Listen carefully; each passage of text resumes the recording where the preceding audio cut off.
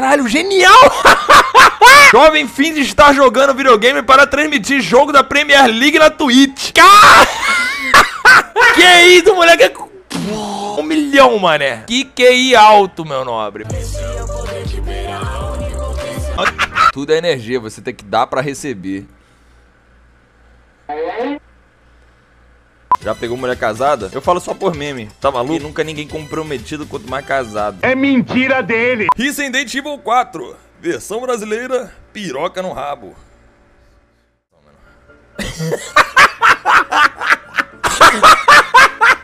Caralho, maneirão, mané! Vai, menor! Vai, menor!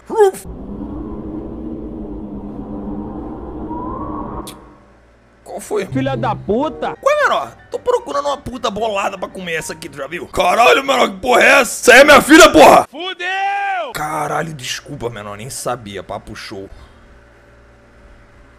É minha filha, porra!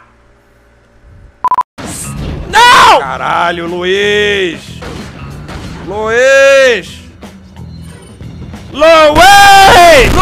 Luiz! Eu vou morrer, filha da puta! Porra, pior cover que existe é desse demônio. Ah, o cara dá, dá desculpa pra ser viado. Eu não dou desculpa, não. Eu sabia! Quer dizer, eu não sou viado, não, pô. Ô, qual foi? Que porra é essa aí, mano? Eu prefiro que você vire membro pra, pra pedir o jogo, sabe por quê?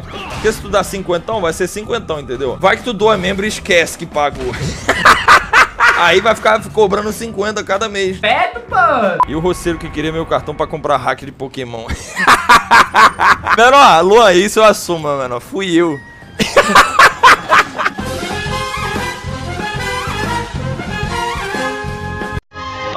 Esse aqui vai ser da hora fazer isso aqui, peraí. Deixa eu ver se combina a música com isso aqui.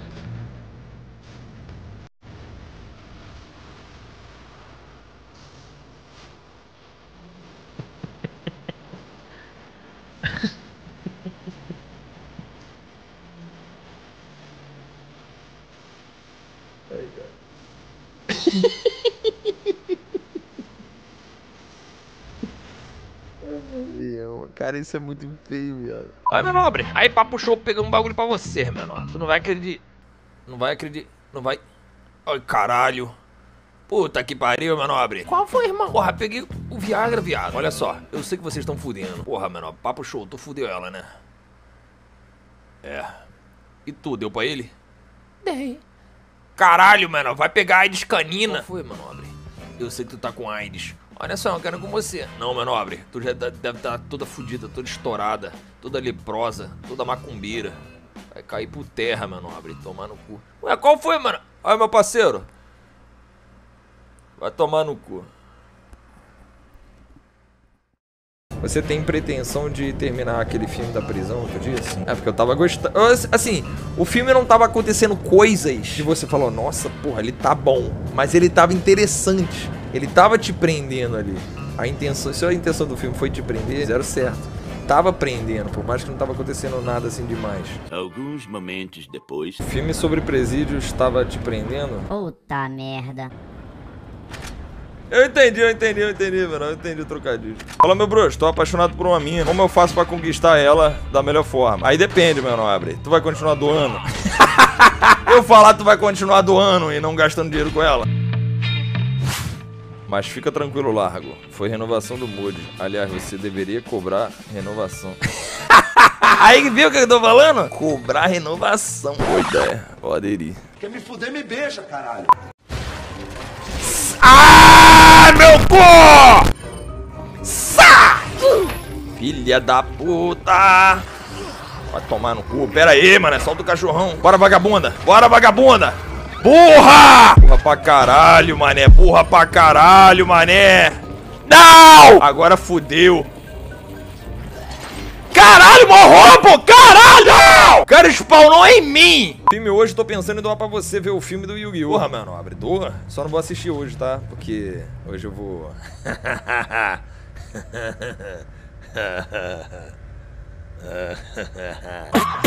hoje eu vou... É, lavar o carro do meu pai. Sim. Quanto tu quer pra não embrochar na mina e continuar live? Não, mano. Não tem dinheiro que pague isso, não. Quer dizer, hã? Não, pô, eu tava falando do carro do meu pai. Não tem preço ajudar o meu pai a lavar o carro. Foi assim, vamos lá. Tipo, a gente ainda. A gente terminava e voltava toda hora. Tipo, eu termino e fico todo fudido. A mina fica feliz, vai pra balada e dá pra geral.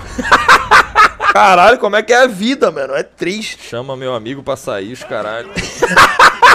pra fazer ciúme. E agora? Aí você aqui.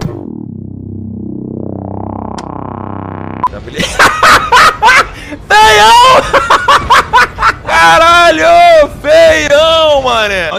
Entrevista de emprego para dublador da Capcom. Entrevistador, você está lutando contra um zumbi. Como você reage? Entrevistada. Qual é meu nome? Como tá essa consagração? Ou senão é papo show. Passa o notebook agora. É, menor, caralho, troquei pelo teu celular, na moral, menor. Troncou um caralho. Devolve o Celeron. É, caralho. Assédio! Tá fudida, filha da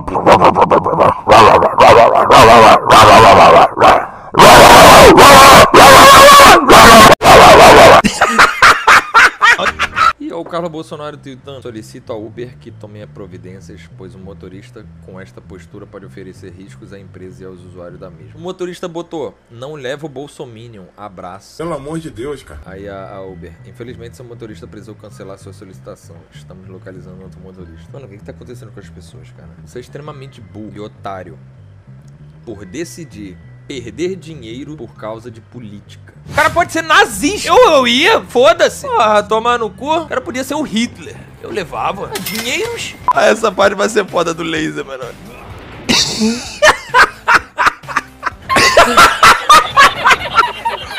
Feião, mano. Ah, mano, não dá, não, na moral. mano. Vamos ver o cachorro descansando tranquilamente no morro. Olha essa merda, mané. Fei.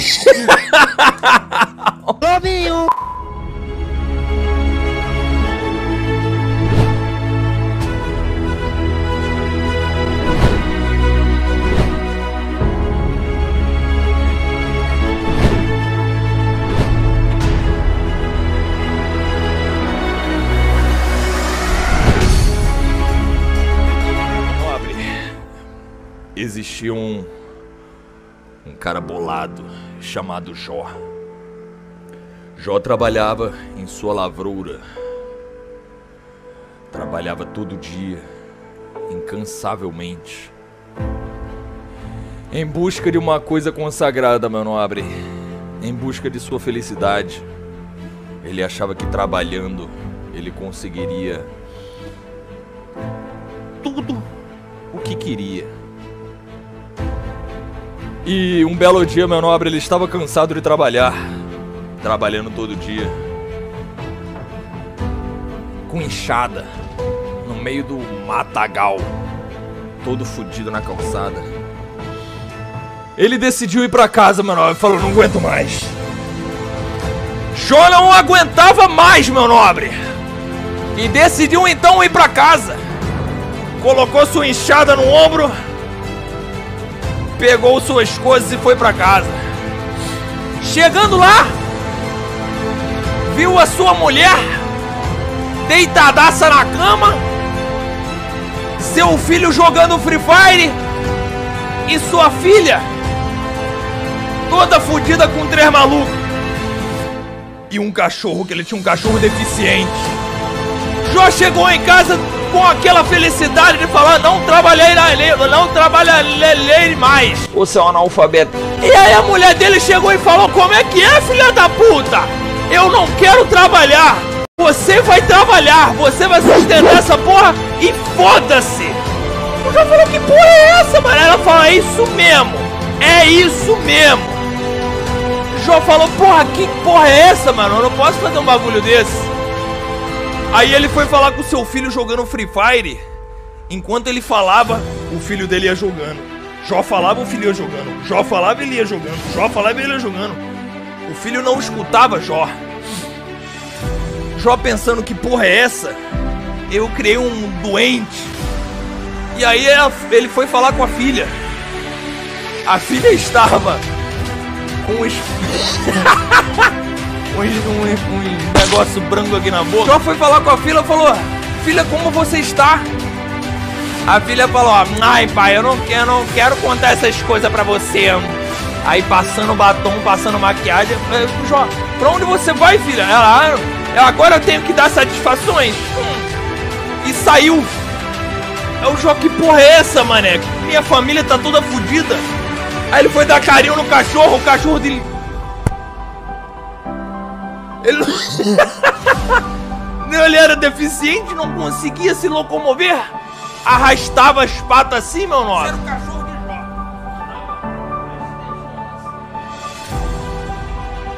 Estava com dó do perigo.